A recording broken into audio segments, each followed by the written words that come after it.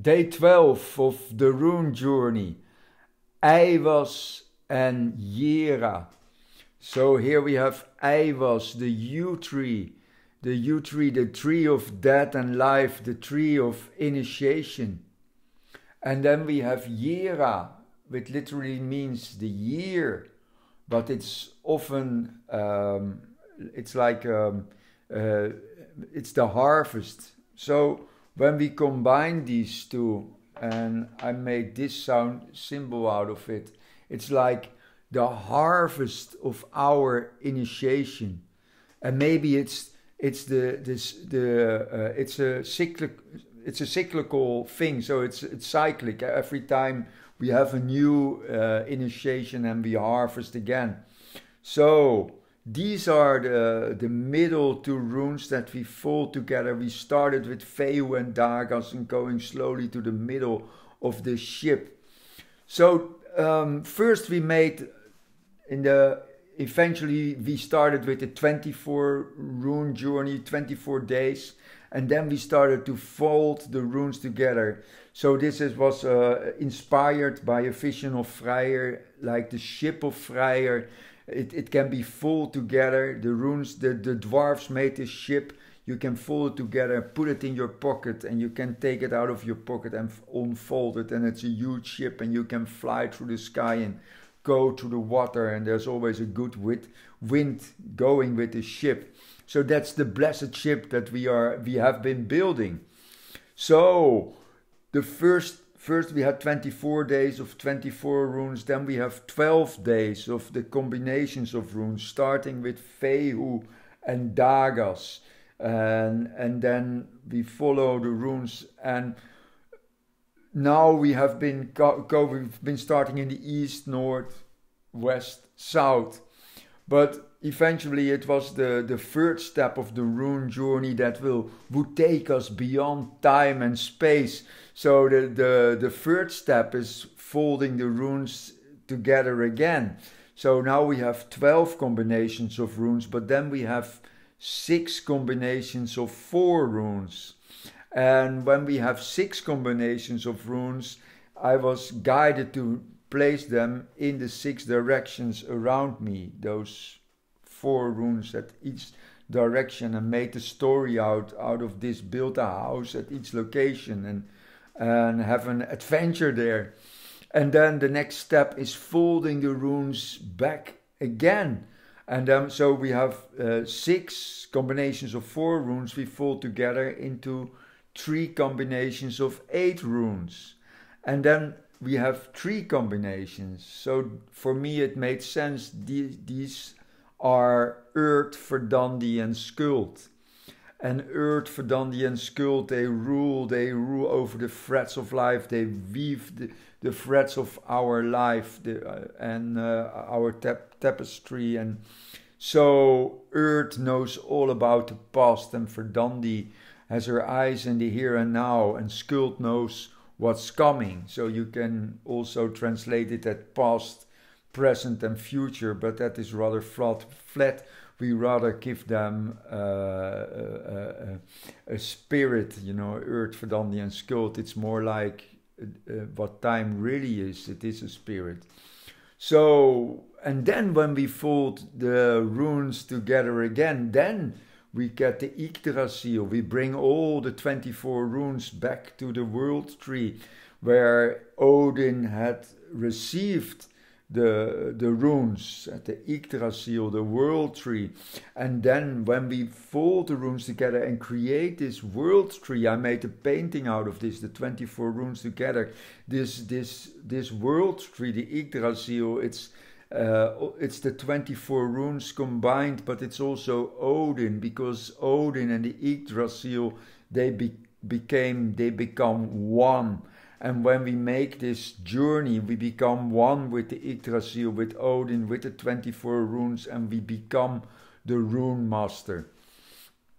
So, so this has been done before, and that's why it was now we take like the second step and we already go to the six directions because that's the that's a really powerful way of working with the runes just place them around you in the six directions.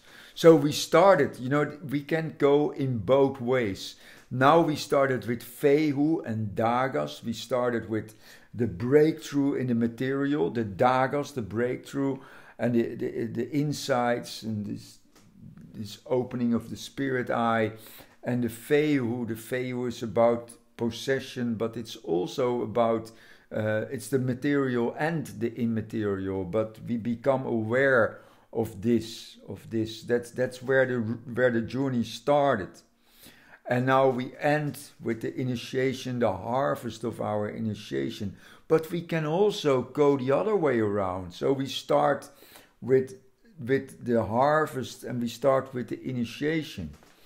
So let's let's follow these two ways to travel. So we started now with in the east with the sunrise.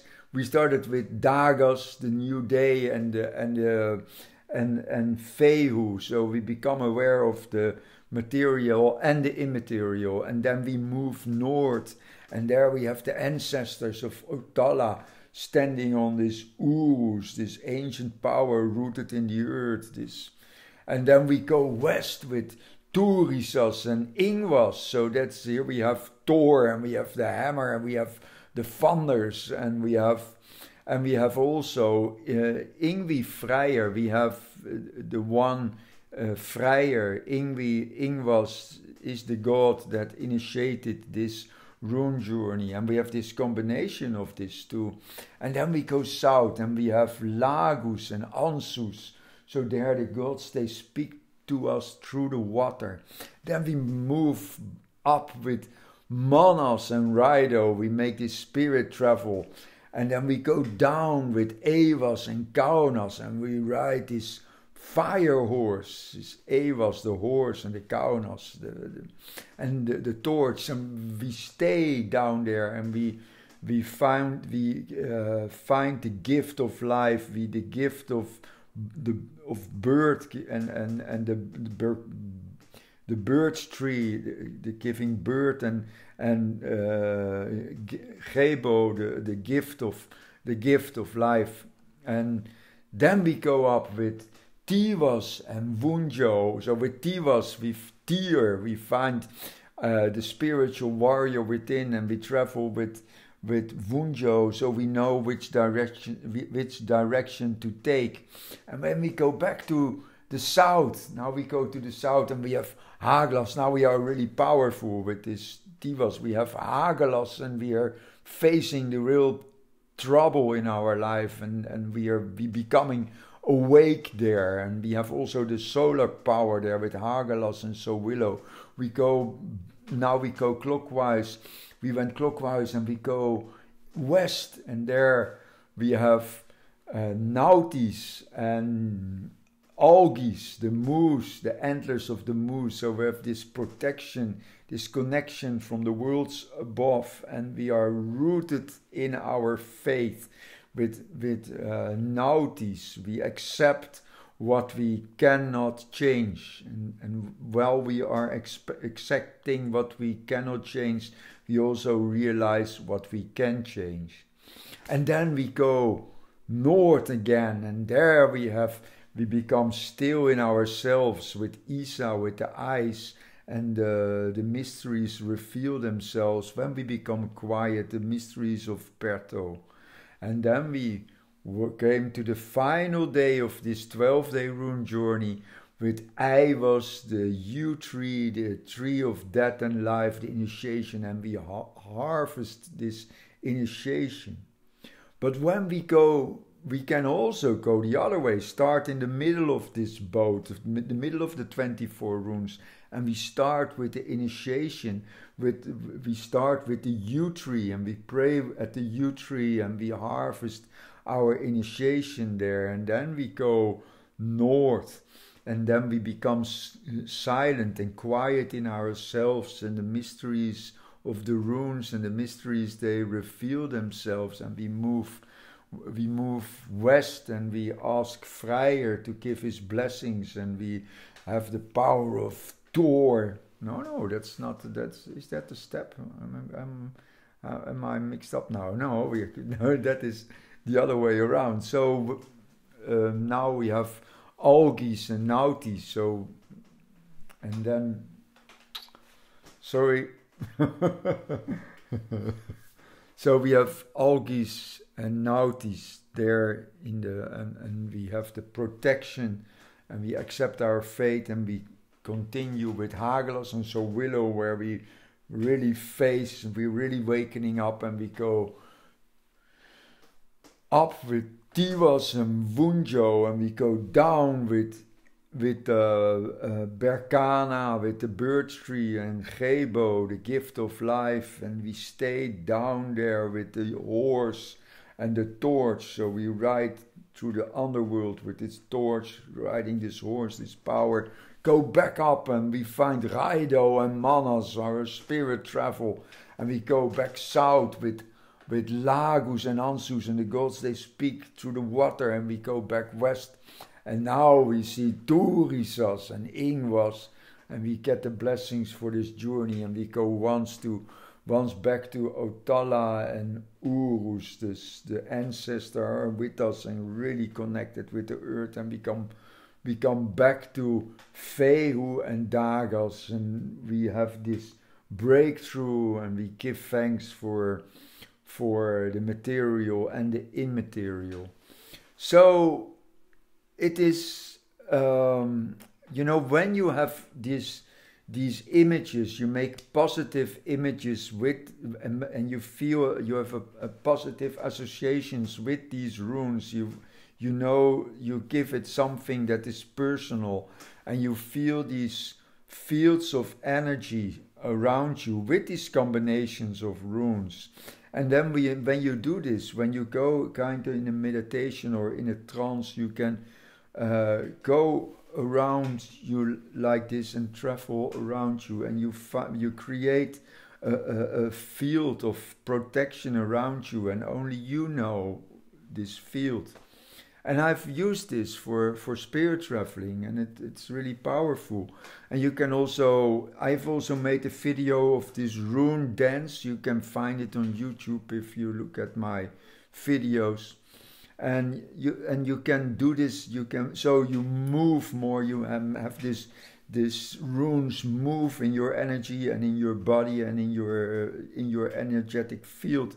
And you can come to certain places where you feel sacred places for you you know maybe in the woods or or at a tree and there you do this visualization. And then when you do this this you place those runes there on that spot like in a visualization, it makes it more easy to go back to that spot and make this connection, like um, to feel the, the energy of that tree or that special place where you want to be connected with. It's easier to make a, a connection with that place. That's this in this way I used this rune journey.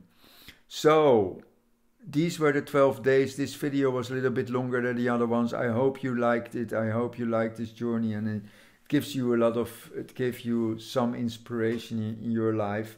Sometimes it's really nice to use this magic and to have these things happening. And in other times we just need to find the peace and the quiet inside ourselves and just be quiet you know. And uh, maybe that's more what where i am at at this moment. But i i i give you my blessings and thank you for watching